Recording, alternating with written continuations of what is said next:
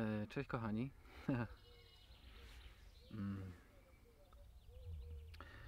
E, Spotkanie z emocjami. E, Spotkanie z emocjami, taki wgląd, co ja robię z emocjami, jak to wygląda.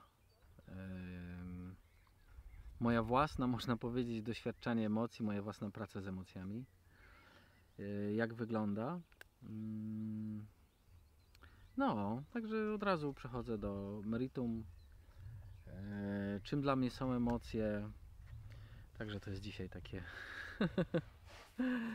no, siedzę sobie na ławeczce w takim ośrodku, w którym prawdopodobnie będę częściej. Mm, Ale to tam ogłoszę w międzyczasie. Ah, emocje. Hmm. Emocje, coś co potrafi nas porwać, coś co potrafi nas otumanić całkowicie, coś co w ogóle wytrąca nas e, i jedziemy po prostu jak na jakimś dragu czasem i mówimy, ale robiłem w emocjach, to jest w afekcie, to, to się nie liczy, robiłem w emocjach. Ale czy te emocje muszą nami kierować? Czy te emocje muszą za nas decydować? Wytrącać nas ze świadomości? Muszą, nie muszą, no. Ja przynajmniej nie chcę, żeby moim życiem mm, e, samowolnie e, emocje, które się gdzieś tam pojawiają, e, podejmowały za mnie decyzje, bo później to jest taki strzał w kolano, jak człowiek się nagle budzi z tej emocji i mówi a co ja zrobiłem? I w ogóle chce się wszystko odkręcić i później trzeba wziąć na klatę wszystko to, co podczas tych emocji powstało. No i mm, mm, jak ja osobiście e, widzę u siebie emocje, u siebie emocje. Em, To jest tak, że pojawia się emocja różna. Może być to piękna emocja, może być to emocja zakochania, która jest bardzo seduktywną emocją, e, która całkowicie otumania. Normalnie jakby się jechało na jakimś grubym dragu. Mm. No i są też te emocje takie trudne, traumatyczne, te, te dołujące emocje, te smutne emocje, te, te, te, te, te ciężkie emocje. E, I to jest tak, kiedy emocja odpala się poprzez jakieś doświadczenie życiowe, czy może ktoś coś powiedział, jakieś słowo, po prostu nagle się emocja odpala z jakiegoś powodu. I to jest tak, dla mnie osobiście emocja to jest zapis informacji z przeszłości, która przypomina się w tej rzeczywistości e, poprzez emocje. I bardzo często jest tak, że my nie mamy pojęcia, kiedy, kiedy, powstał, kiedy ta informacja powstała, tylko coś, co jest y, podobnego w rzeczywistości, którą doświadczamy, nagle potrafi nam tą emocję obudzić. E, No i możemy albo się dać ponieść tej emocji i rozpiździć wszystko dookoła, albo siebie, e, albo możemy się po prostu przyjrzeć tej emocji. I jak można się przyjrzeć tej emocji, kiedy emocja bierze i jak można się temu przyjrzeć? No można się temu przyjrzeć, jeśli ma siebie mm, ugruntowaną w sobie tą świadomość obserwatora. Czyli można wyjść i obserwować neutralnie rzeczywistość. Nie przyjmuję e, swoich myśli, e, emocji, które pojawiają się w tym ciele, jako moje. Traktuję je z dystansu. E, I, I to jest kwestia też y, tej pracy ze świadomością. To jest kwestia też tego gruntowania w takim zwyczajnym, codziennym życiu tego obserwatora. No i ja tego obserwatora mam, całkiem nieźle ugruntowanego. I kiedy pojawia się emocja, i, i, I ona się pojawia gdzieś w ciele i ona próbuje mi powiedzieć, że to jestem ja tą emocją. Owszem, ta emocja jest przypisana do historii tego ciała. Jest przypisana do historii Pawła, do wszystkich rzeczy, które gdzieś tam były. Ale już wiem, że to jest tylko przejściowe. Wiem, że forma jest przejściowa, Paweł jest przejściowy, historia jest przejściowa. I wcale nie muszę temu podlegać i wcale nie muszę na, w kółko odgrywać tego, yy, kiedy jestem już świadomy bo tak czy siak te rzeczy z przeszłości one chcą się odgrywać. Yy, I my nieświadomie cały czas odgrywamy, odgrywamy w kółko to samo, na nowo, z czymś innym, z kimś innym. I emocje są takim wskaźnikiem, że gdzieś coś kiedyś w przeszłości się wydarzyło. I to jest tak, można różnie do tego podejść, ale jak ja to robię? Kiedy zauważam, że jest emocja yy, i, i, i zdążę być na tyle uważny, że ta emocja mnie nie porwie, a nawet jak mnie porwie, to ja zaczynam nagle patrzeć, że z rzeczywistością jest coś nie tak. Że ta rzeczywistość gdzieś wytrąciła mnie z równowagi. Wtedy ja się przyglądam, co mnie wytrąciło z równowagi. No i zaczynam to badać. I jak odnajduję to, to ja po prostu staję w świadomości, wstaję w tym świetle, w tej miłości i ukochuję to. Tylko czasem nie wiemy, co ukochać. Czasem nie wiem, co ukochać. I to jest tak, no przykład, przykład yy, yy, z dzisiaj. Miałem, mm, dostałem taką wiadomość, że tam rozmowa ze mną obudziła smutek. No i ja tak poczułem ten smutek sobie dzisiaj i tak sobie przyjąłem to i, i wszedłem w to, co mi to słowo smutek robi, co mi ta emocja o nazwie smutek robi. I zacząłem sobie po prostu właśnie z punktu obserwatora przyglądać się, przyglądałem się z taką ciekawością tej emocji. I momentalnie zaczęły się zapalać takie światełka, które zaczęły mi wskazywać informacje, co się kryje pod tym smutkiem.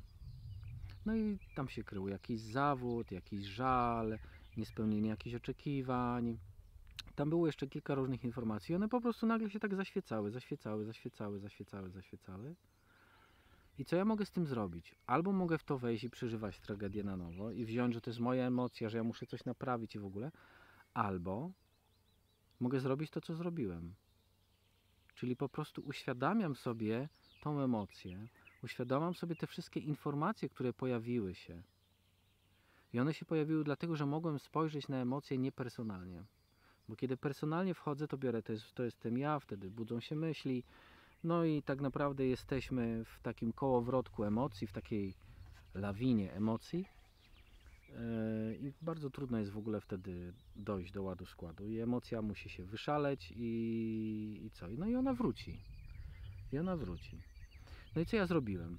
Jak to zobaczyłem, to stanąłem po prostu w prawdzie, na ten moment tu i teraz, co czuję, co czuję w środku, tu w sercu. I zacząłem po prostu przyglądać się temu z miłością. Zacząłem się temu przyglądać się z miłością. I te informacje zaczęły się rozpuszczać, puszczać, puszczać, puszczać, puszczać. I nagle wypełniła się ta przestrzeń emocji, wypełniła się spokojem. Wypełniła się po prostu spokojem.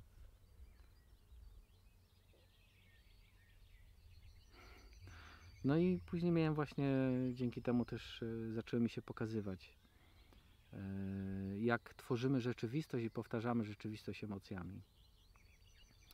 Że te emocje razem z myślami kreują naszą rzeczywistość.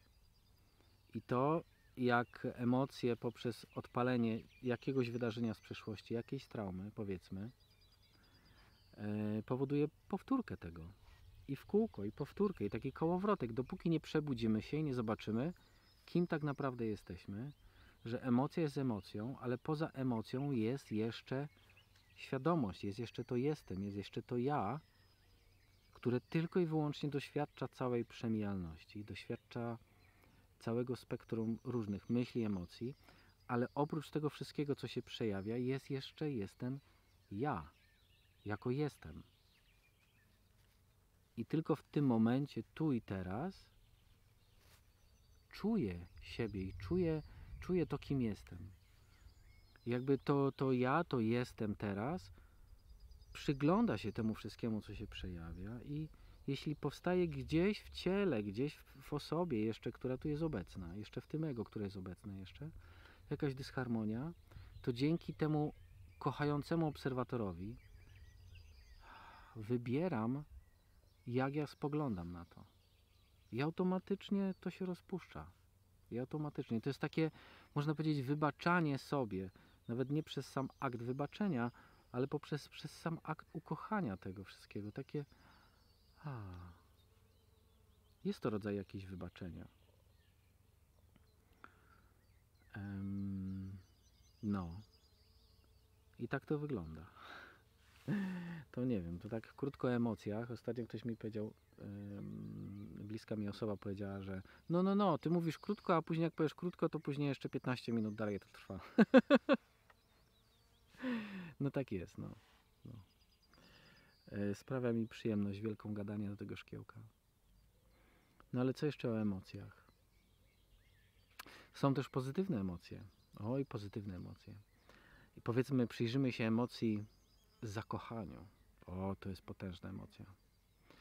E, I bardzo często, jeśli chodzi o te pozytywne emocje, w ogóle o emocje, mylimy je z uczuciami.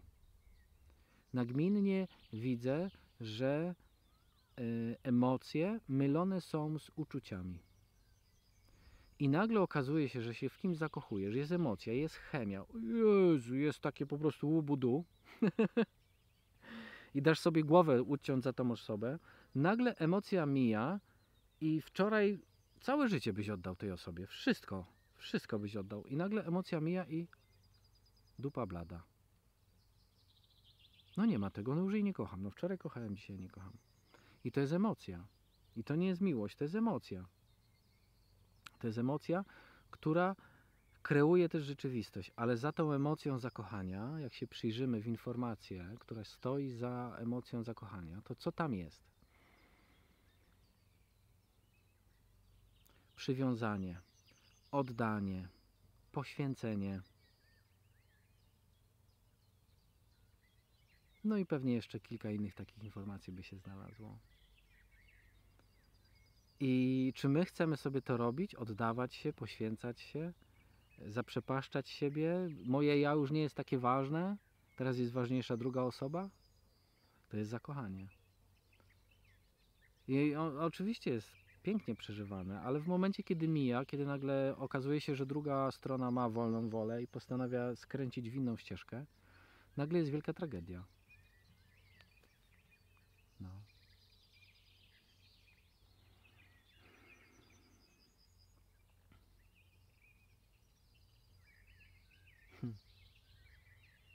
No i tyle, teraz będzie naprawdę krótko. Taki krótki przerywnik yy, z nagrywania z mojego pobytu tutaj yy, pomiędzy nagrań odnośnie emocji. Mm. I tyle, nie ma co się więcej wypowiadać. Mógłbym rozszerzyć temat, ale, ale chciałem się tylko tym podzielić. Jak pracuję z emocjami. I, a, jeszcze powiem tak. I mm, to nie jest wyparcie emocji. To jest trzeźwe spojrzenie na emocje. To jest przyjęcie jej, ale przyjęcie jej w tej świadomości jestem. I wcale nie jest wyparcie.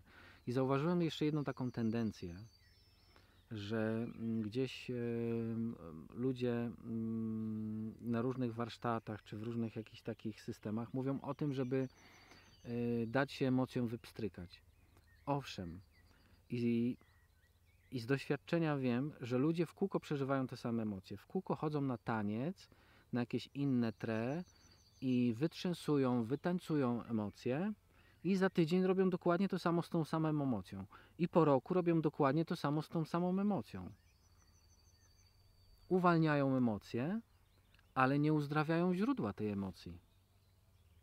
I owszem, emocji nie należy chować uwolnić. Jeśli chcesz płakać, chcesz krzyczeć, to krzycz, płacz, ale przyjrzyj się świadomie tej emocji, co się za nią kryje. Przyjrzyj się świadomie, co się kryje za tą emocją, jaka informacja, i możesz to ukochać, i wcale nie będziesz musiał drugi raz tego przeżywać. I znowu wytrzęsywać, i znowu gdzieś tam wypłakiwać. Nie ma takiej potrzeby. Życie może być naprawdę spokojne.